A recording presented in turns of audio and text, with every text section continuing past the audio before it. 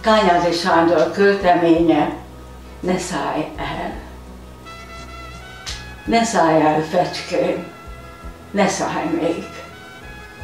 Kiderül majd a boros ég.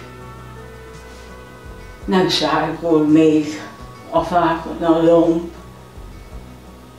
messze hallik még a kolomb. Nem a szél, pásztor följárt.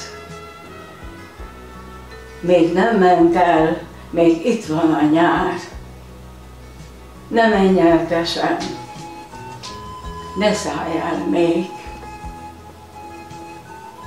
Meglátod még, kék lesz az ég. Szép itt az ősz, és télire meg kibéleljük a fészkedet, és megosztjuk vele, amíg van. Maradj itt, fecske madaram,